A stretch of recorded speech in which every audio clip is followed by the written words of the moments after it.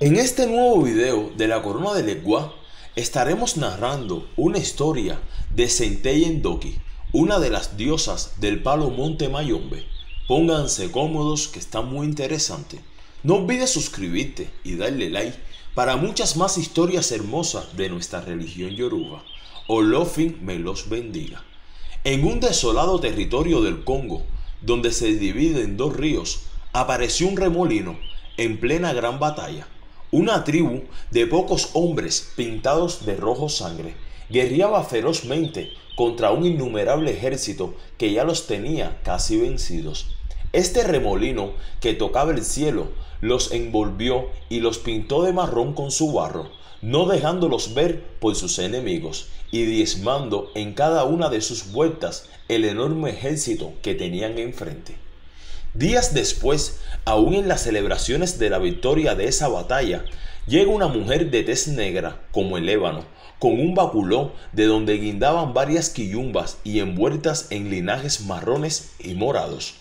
El rey de la tribu, quien era Kunú, sentó a la viajera en el círculo de la fogata, donde deberían estar las mujeres, en medio de la noche. El rey llamó a la visitante y le preguntó quién era y de dónde venía a lo que la misma le respondió, soy la plegaria de tus hombres, soy quien siempre ha estado a tu lado, soy quien por ti se escapa, soy la misma noche sin luna y sin estrellas, soy la reina con ejército que jamás podrás ver, pero en cada batalla tuya mi ejército crece, soy la muerte hecha mujer. Dichas estas palabras, el rey se retiró a su choza y a la mañana siguiente, al ver que la viajera todavía estaba de pie en el mismo sitio donde él la había dejado, le preguntó, ¿qué quieres de mí y de mi pueblo?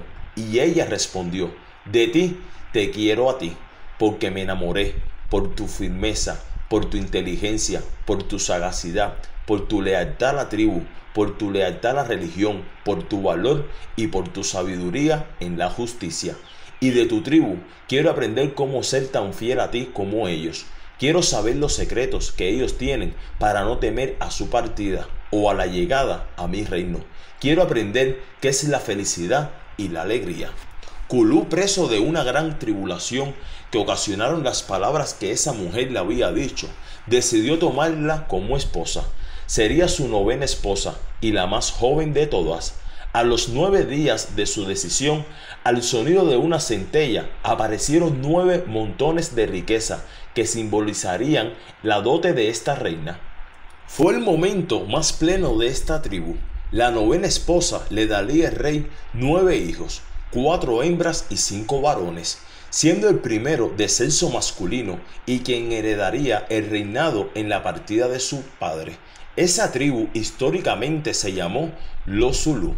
Centella Endoki, como esa tribu la llamó, debido a la centella en donde apareció la riqueza y Endoki a su reinado, aprendió a ser tan fiera, tan guerrera, tan audaz como lo era su rey, utilizando sabiamente la centella en batallas y su remolino de enfumbis en las mismas para cubrir a su pueblo. Nueve días después de la partida de Kulú, Centella Endoki fue desprestigiada por las otras esposas del rey y poniéndola en contra con la tribu. Después de ser la más querida, fue la más olvidada. Un buen día se paró en la puerta de Campofinda y les dijo a la tribu, he aprendido mucho de su rey y de ustedes, sobre todo la traición de la que he sido presa en estos días. Aquí donde me ven, siempre estaré. Me voy, pero no para dejarlos sino para unirme a quien de jamás me he de separar. Uno a uno se unirán a mí, y será mi voz la única que escuchen, ya que seré yo quien los acepte o no. Mientras daba la vuelta para darle la espalda y entrar, fue envuelta en un remolino de un fumbes, y en una centella desapareció. Desde esos días hasta hoy, Centella Endoki ha sido venerada y sus atenciones son en el cementerio como dueña de los muertos y de la puerta de Campo Finda. Algunos dicen que esta deidad se podría dividir en tres etapas. Número uno, Centellita, la joven y exuberante mujer llena de riquezas y de apego a sus principios. Número 2. Centella, la mujer madre y guerrera, desafiante y sin temor a cualquier guerra, llena de una ambición de aprender a ser humana. Número 3. Centella Endoki, la mujer traicionada por su pueblo, que por amor se unió nuevamente a quien amaba, haciendo el sacrificio de dejarlo todo por seguirlo a él, dando de ella todo sin esperar nada. Centella Endoki es la deidad más muertera y se le tiene mucho respeto en el Mayumbe. Espero les haya gustado mucho esta hermosa historia.